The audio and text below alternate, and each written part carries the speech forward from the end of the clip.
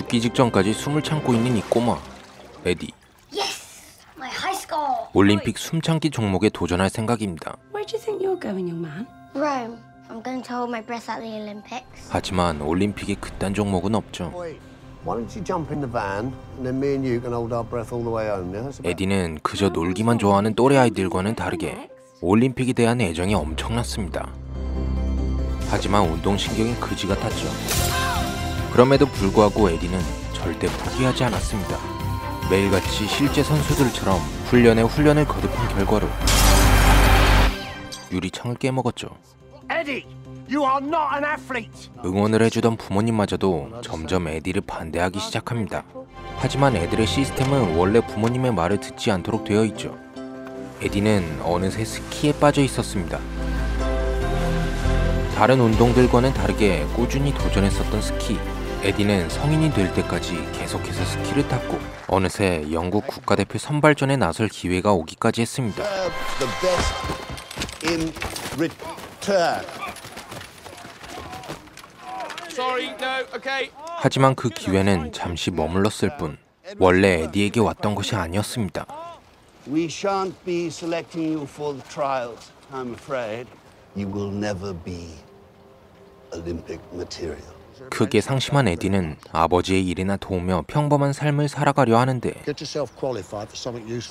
현실을 깨달았지만 그의 올림픽에 대한 갈망은 여전했습니다. 에디는 아직 꿈을 포기할 수가 없었죠. 어느덧 TV에서 방영 중이던 스키 점프가 그의 눈에 들어왔고 에디는 이번을 마지막으로 한 번 더 올림픽에 도전하려 합니다. I'm going to be an Olympic ski jumper. 당시 영국엔 스키 점프를 하는 선수가 한 명도 없었는데요. You name me one, one British ski jumper. Me, Eddie Edwards. 결국 에디는 스키 점프를 배울 수 있는 독일로 향하게 됩니다.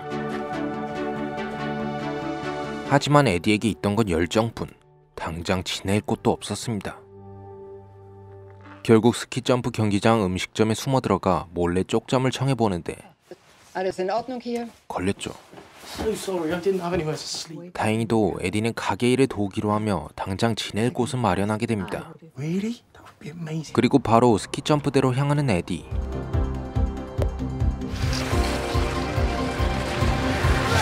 (15m) 점프에 쉽게 성공한 에디는 욕심을 내서 바로 (40m) 점프에 도전해 봅니다. 아, 그래도 스키 국가대표 선발전까지 간 짬바가 있는데 (40m도) 쉽게 어, 실패했네. 하지만 에디는 포기를 모르는 남자입니다. 끝까지 도전하는 자에겐 기필 성공이 오기 마련이죠.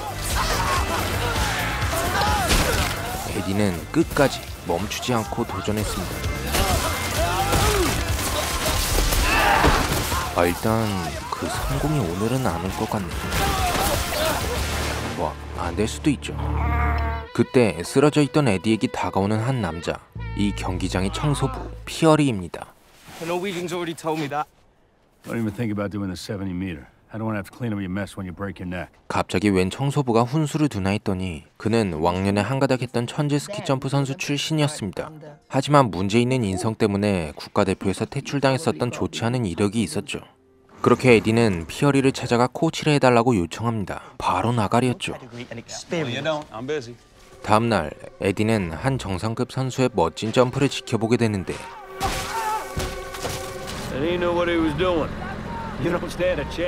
피어리는 에디의 열정을 짓밟아 버립니다. 근데 저게 팩트였죠. 그럼에도 불구하고 피어리에게 끈질기게 매달리는 에디. So 옆 테이블에 다른 선수가 시비를 걸어옵니다. 아주 혼쭐이 나겠네요. 혼쭐이 납니다. 정신을 차린 피어리는 홧김에 에디를 코치해주기로 합니다.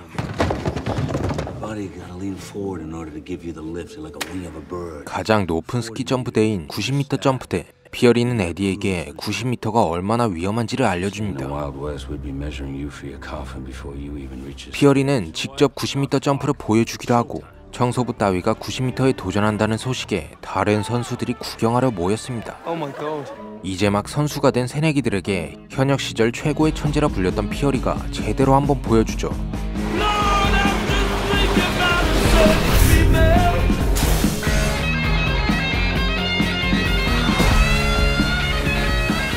피어리의 점프를 보고 가슴이 불타오르던 에디 그 불타오르는 가슴을 안고 다시 한번 40m 점프대에 올라섭니다. 피어리에게 용기를 얻어서인지 40m 가볍게 성공. 그렇게 에디는 분위기를 타서 한 번에 70m까지 도전해보려 합니다. 그런데 막상 올라와서 보니 목숨을 잃을 것만 같았죠. 그래도 도전. 컨디션이 좋았던 에디는 70m도 바로 성공할 것 같아요. 어, 죽었죠. 죽었을 것 같아요. 안 죽었어요. 아직은요. 에디의 병문 안으로 온 피어리는 에디가 보고 있던 자신의 스승이 쓴 책을 발견하게 됩니다. Peary was the most naturally gifted ski jumper. He should have been my greatest champion. But his focus was not always on the mountain. He never understood that a true Olympian, it's about never giving up, no matter what. 자신에겐 부족했던 스승이 말한 그 의지가 에디에게 보였던 피어리. 그는 에디에게 본격적인 훈련을 시켜보기로 마음먹습니다. 그렇게 에디는 올림픽 출전 자격을 얻기 위해 작은 대회에도 나가보고 드디어 올림픽에 출전할 수 있게 된 에디. We request the pleasure of your company at the British Olympic headquarters. 바로 나가리였죠.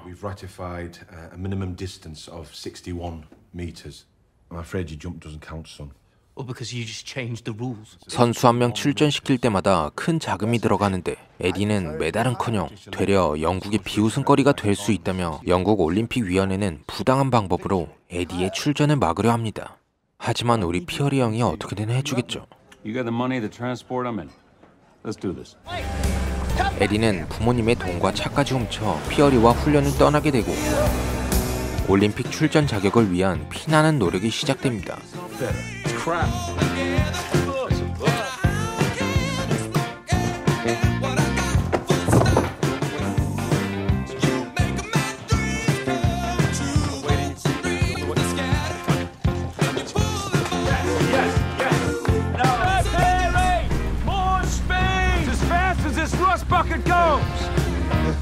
그리고 다시 공식 기록을 재보는 자리에서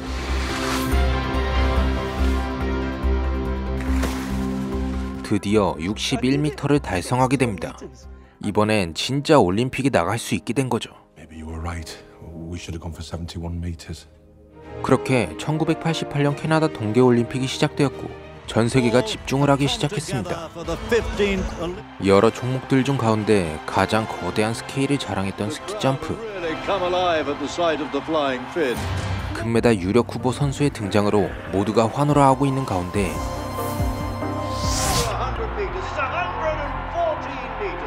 잔뜩 긴장한 에디. Terry Love is about to jump. Come on. 어렸을 적부터 그렇게 갈망하던 올림픽이란 꿈의 무대가 드디어 에디의 발밑까지 다가왔습니다. 그리고 그 꿈을 향해 첫 도약을 한 순간 무사히 착지하는 데 성공. 역사적인 순간이었죠. 다른 선수들에 비엔 보잘것없는 기록이었지만 영국의 최고 신기록이었기 때문이었습니다. 너무 기뻐서 항문 댄스. 진심으로 기뻐하는 에디의 모습에 사람들도 열광하기 시작합니다.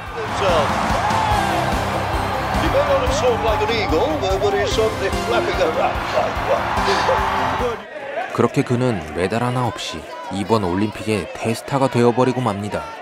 실력 있는 유망주 선수들의 기자회견이 텅 비게 만들 정도였죠. 하지만 그의 인기는 그저 우스꽝스러운 모습 때문에 생긴 걸지도 모릅니다. distances, Eddie the Penguin would be a little more apt. But at least we have the 90 meter. Of course, one boy who won't be there is Eddie the Eagle. It's hard to play up to the crowd when you're strapped to a stretcher. No one is taking you seriously. You are nothing but a sideshow. And the very minute that 90 meter competition starts, you'll be forgotten. 한순간 사람들의 이목을 끌었지만 멋진 올림픽 선수가 꿈이었던 에디에겐 잠시나마라도 얻은 이 유명세가 되려 공허함을 가져왔습니다. 그래서 I love it very nearly as much as proving people wrong. I decided to compete in the 90 meters. 한 번도 도전해보지 못한 위험한 90m 점프를 올림픽 본선에서 처음으로 도전해버리겠다고 발표합니다. As a coach, I think you're crazy. But as your friend, I say you gotta do it. This is your moment. It's just a jump. Yeah, simple. 피어리는 그런 에디가 걱정되기도 했지만 에디를 믿고 용기를 불어넣어줬습니다. Do you realise that smoking cigarettes is a lot more dangerous than jumping the 90 meters? 하지만 90m는 용기만으로 해낼 수 있는 것이 아니었죠. 드디어 90m 점프 시합날. 역시 유명 인사답게 많은 사람들이 에디를 향한 환호를 보냈습니다.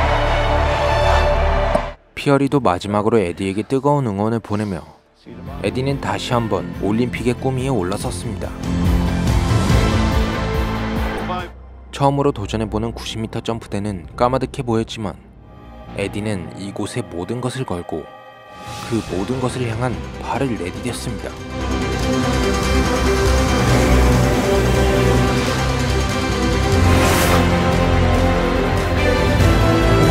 재능도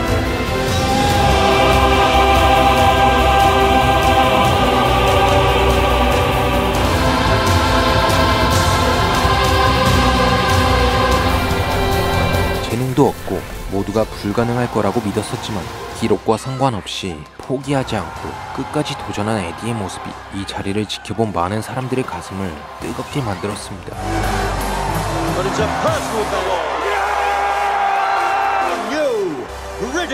Olympic record. 비록 순위는 꼴찌였지만 평생 동안의 꿈을 이뤄낸 에디. 이날만큼은 그가 진정한 주인공이었으며 그렇게 올림픽은 막을 내리게 됩니다. 그렇게 무사히 귀국한 에디는 운동을 반대하시던 아버지를 비롯하여 많은 사람들의 환호를 받으며 영화가 끝이 납니다. 올림픽 대회의 의의는 승리가 아닌 참가하는 데 있다. 인생에 있어서 중요한 것은 성공이 아닌 노력이다. 근대 올림픽의 창시자인 피에르 드 쿠페르탱이 한 말입니다. 에디는 아마 이 말에 가장 어울리는 사람 중 한 명일 것 같은데요. 어느 정도 각색된 부분들이 있긴 하지만 이 영화는 실화를 바탕으로 한 영화로 실제로 에디가 올림픽 대회에서 꼴등을 하면서도 영국 신기록을 세우고 동시에 스타가 되어버린 참 아이러니한 이야기를 담았습니다. 킹스맨과 엑스맨의 케미가 돋보이며 운동을 하지도 않는데 스포츠 정신을 심어주며 밀려오던 감동이 참 매력적인 영화였습니다. 영화 독수리 에디 추천드리며 보도록 하겠습니다.